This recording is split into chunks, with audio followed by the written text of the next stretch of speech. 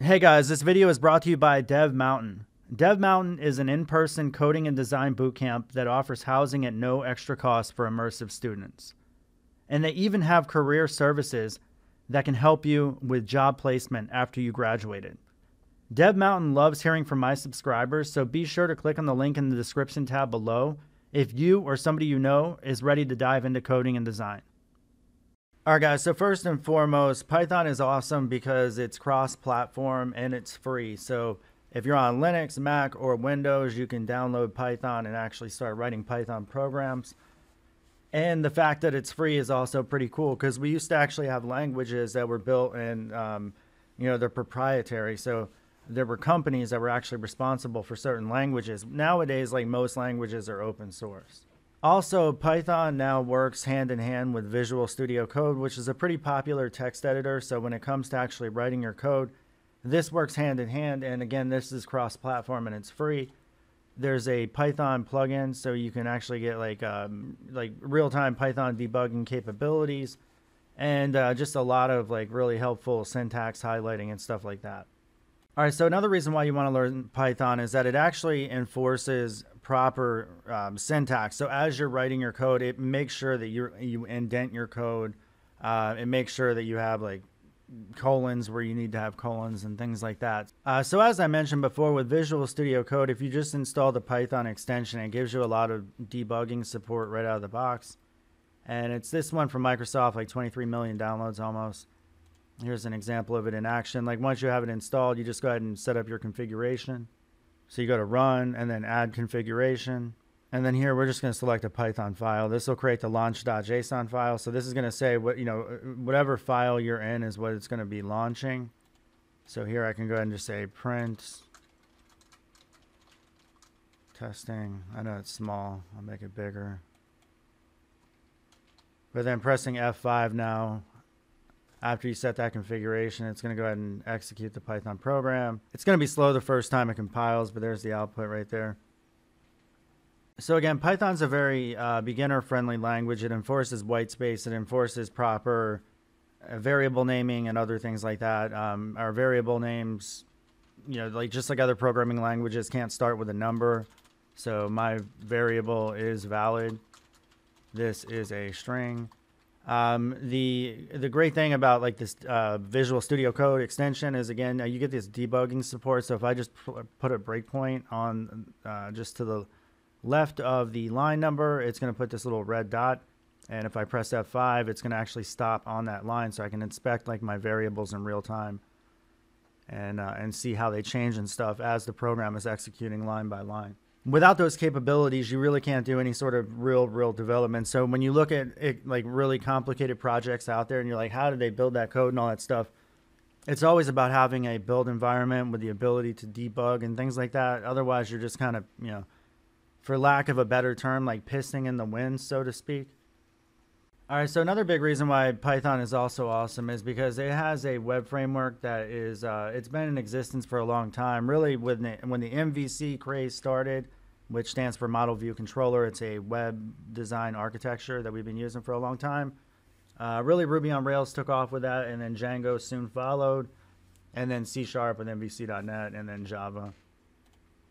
And then Node and all that other stuff. But the bottom line is we separate our, our stuff out in, in models, uh, views, con, uh, controllers. So views being templates, models being databases, and uh, controllers being your backend logic. But uh, there's a lot of code that goes into actually maintaining a website, and Django is a full stack framework. It's responsible for websites like Instagram and Pinterest originally, uh, a few other websites as well. But it's all Python code, and it's uh, it's pretty easy to get started with. So Python has a package manager tool. There's pip environment, which is still pretty new, but I'm just going to use pip because I'm I'm still used to that. Uh, pip is the old school one. Pip environment is probably what you should be using these days, but whatever you can just go ahead and install it. So if anybody's done any sort of node development, it's uh, very similar. It's just a package manager tool, and it installs it. Um, so the way Node modules works for the, the Node developers out there is like Python has um, virtual environments that they that they like they uh, partition the the package dependencies needed for the project. All right, and now that since Django's installed, we can use the Django admin and we can say start project. I know it's kind of uh, big lettering here, but uh, then give it whatever name we want. So I'll call it my project. I'm gonna zoom this out a bit. All right, so that's gonna spin up your Django project, and then um, we're just gonna go ahead and cd into that folder. So say my project, and then uh, manage dot py, and then uh, run server. So that gives you a whole lot of Python code right out of the bat, uh, right off the, right right out of the box, and it's going to save you a lot of time. So this has already got CSS working, built-in development server. It's got even a back-end administration system. It works really well with relational databases. So if you're going to use like MySQL or Postgres, but the point is that Python's awesome because it's easy to get started with it with web development, and you can actually do real professional grade web development. Obviously, if Instagram and Pinterest were using it. So another cool thing is that even though Python's not really known for game development, you always hear about Unity and Unreal Engine and all that stuff, but if you wanted to go back to like old school Pong days and stuff like that, you could do that in Python pretty easily. For instance, there's this Pygame library. I think this used to be included in the Python installations, but it probably isn't anymore. Maybe I'm wrong on that. But either way, it's been it's it's a library that goes back for a long way. So if it's not installed, you just pip install Pygame, just like with Django. And to get started with that, it's really easy. So here's a game example. Uh, we'll just call this uh, snake.py.